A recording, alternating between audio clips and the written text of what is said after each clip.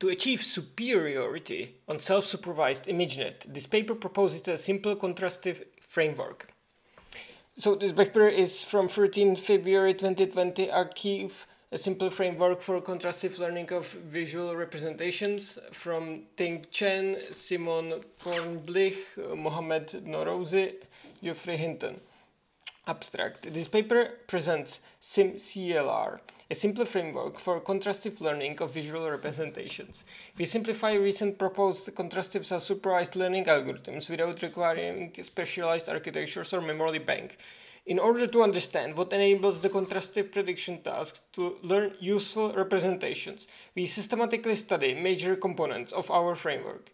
We show that composition of data augmentations plays a critical role in defining effective predictive tasks.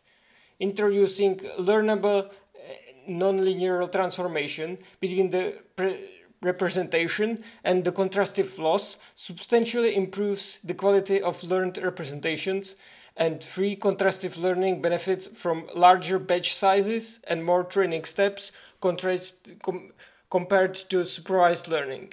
By combining these findings, we are able to considerably improve previous methods for self-supervised and semi-supervised learning on ImageNet.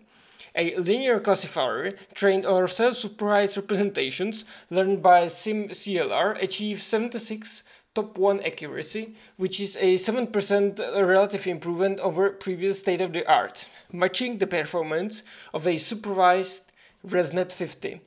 When uh, fine-tuned on only 1% of the labels, we achieve 85.8% top 5 accuracy, outperforming AlexNet with 100 times fewer labels.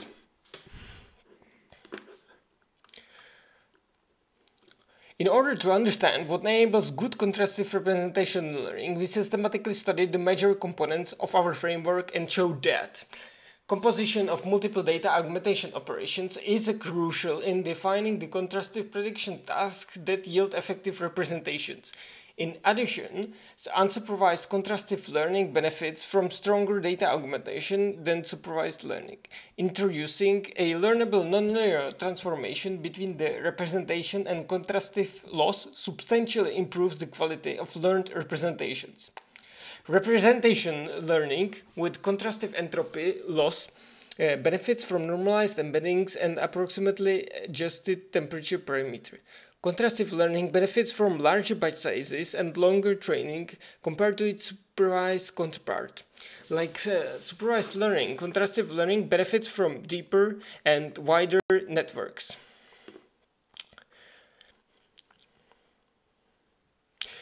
Okay, so uh, th there's a figure two where they show a picture of uh, of the idea how how they perform this contrastive learning. So they do they take the original image, um, then they do two different augmentations on that image, then they do uh, they pass it through uh, encoder network which is some neural network, they get uh, this representation, which is called H. They get actually two representations, right? They have two different augmented images. They pass it through the, uh, the one network, the, the, encoder, they get the representations, and then uh, they pass it through another uh, decoder uh, projection head, projection head. They pass it through projection head, and they they get um, two uh, lower dimensional vectors, which then uh, perf they perform a, a similarity on. Uh, yeah, basically he, here uh, I, I will well I will skip this part. I will read it later. Okay, so they have different augmentations that they use. Uh, the, the, most, the best performing um, was combination of two augmentations, and that was uh, color distortion and uh, crop of the images. And and they found that uh, out of different combinations of two uh, two augmentations, this was the best.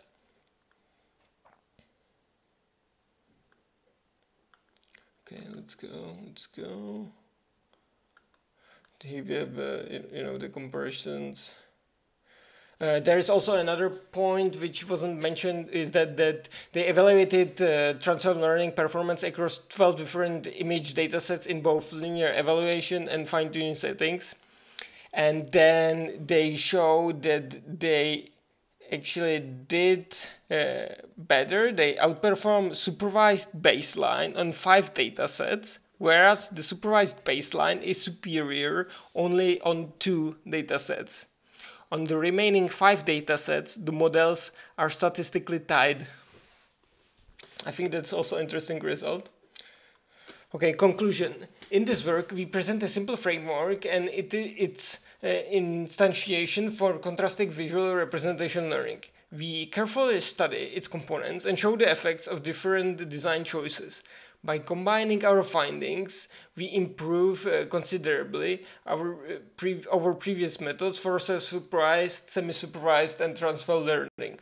Our results show that the complexity of previous methods for self-supervised learning is not necessary uh, to achieve good performance.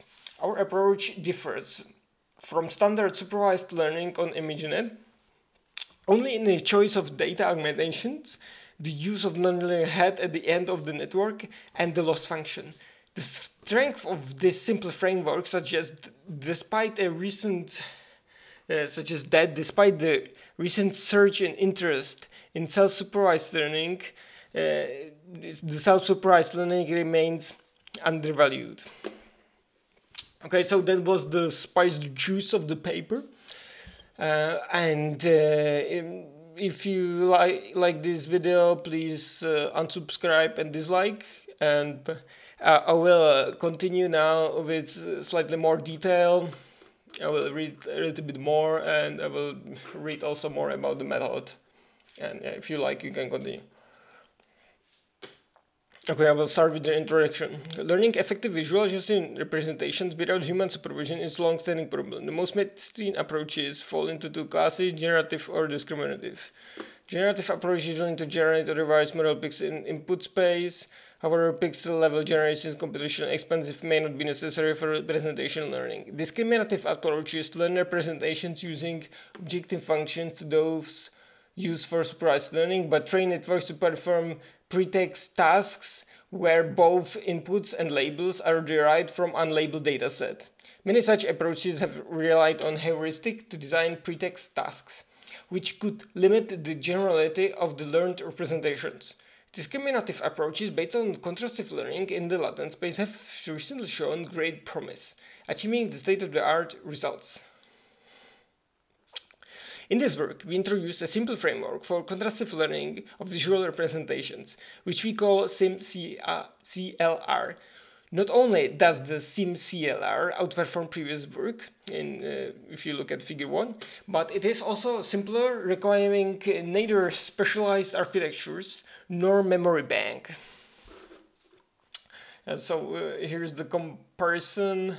So this SIM-CLR four times performs uh, very similarly to uh, ResNet 50.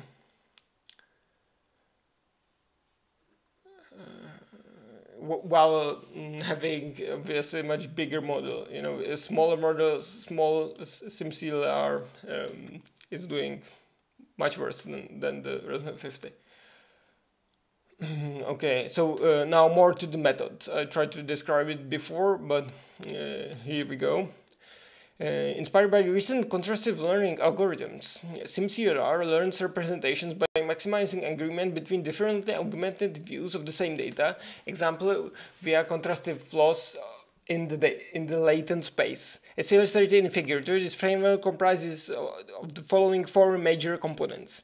A stochastic data augmentation module that transforms any given data example randomly, resulting in two correlated views of the same example, denoted uh, xi and xj, which we consider as positive pair.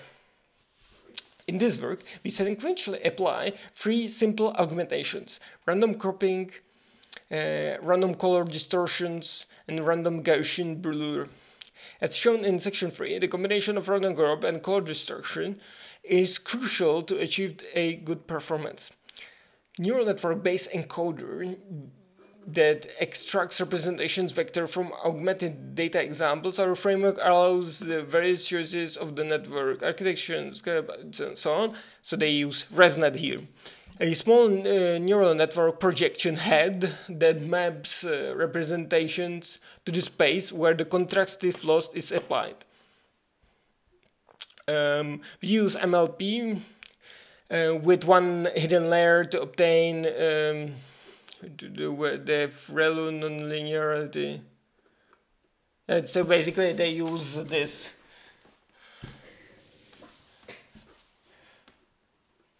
Yeah, so they, they take the representation, they multiply it with uh, a matrix, weight matrix, right? They use nonlinearity, ReLU, and then they do another multiplication uh, by another weight matrix. And they get Zs. So they take H representations and they get Zs, uh, the um, vectors which they perform contrastive learning on. Contrastive loss function defined for contrastive uh, prediction tasks given set uh, they use prediction task. Uh, so basically, the contrastive loss function is uh, minus log of a fraction, uh, which is kind of like a softmax, but not entirely. Uh, so within the so again uh, so it's minus log of uh, a fraction which is which looks very similar to uh, softmax of um, contrastive similarity of uh, one of the examples with with all other images in the badge except that they normalize by uh, not being not equaling the image. It's basically softmax actually yeah i will not go into detail it's some kind it's like a softmax right where they take the one one image they compare it to the other uh, other other image which is also positive pair and they normalize by all images in the batch is basically softmax of the uh, the similarity. Okay, uh, yeah, and the, so the batch size here, because it goes into this contrastive loss, is important. So they look at the batch sizes, and they, uh, I think they say it also in the uh, the summary is that, they discovered that they like uh, they need bigger batch sizes for this version protocol. Yeah, so in, in this part they describe what they did to find out that the color and um, color distortion and the crop, random crop is the best. So they basically created this uh, they did you know some kind of short training and created this top one accuracy uh, table of different combinations and then they figured out you know, they they found the top uh, performing combination and that was it right that's what they did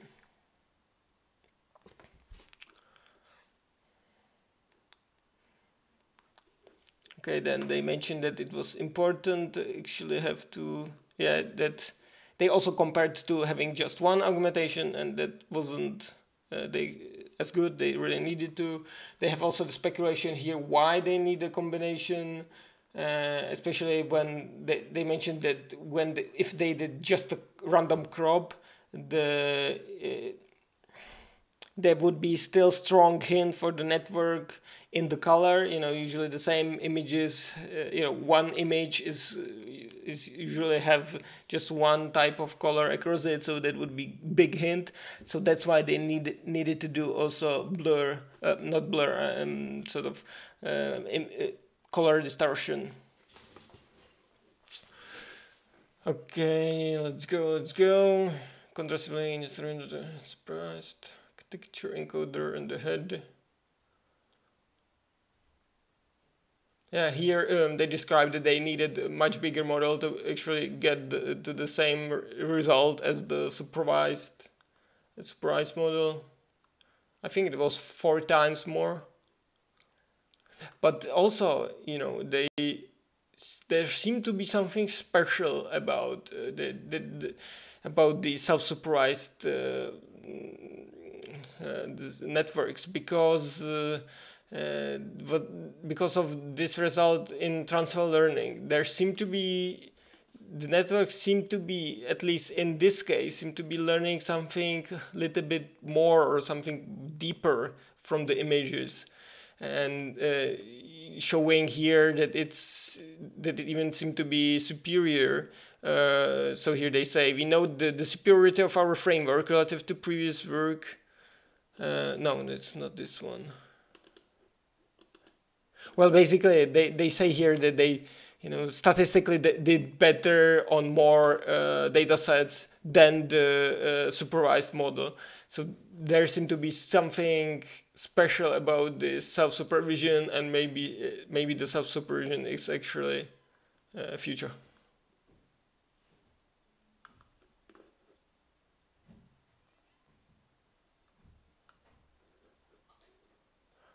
Okay. So, okay, I will read you once more the conclusion. I think that, that those were all important points. I don't want to read everything from scratch from the paper. Okay, um, uh, conclusion. In this work, we present a simple framework and its instantiation for contrastive visual representation learning. We carefully study its components and show the effects of the different design choices. By combining our findings, we improve considerably our previous methods for self-supervised, semi-supervised, and transfer learning. Our results show that the complexity of the previous methods for self-supervised learning is not necessary to achieve a good performance. Our approach differs from standard supervised learning on ImageNet only in the choice of data augmentation, the use of nonlinear head at the end of the network, and the loss function. The strength of this simple framework suggests that despite a recent surge in interest, the self-supervised learning remains undervalued. Okay, thank you very much for listening. Please dislike and unsubscribe. And um, if you have any suggestions, please let me know. And I hope to see you next time. See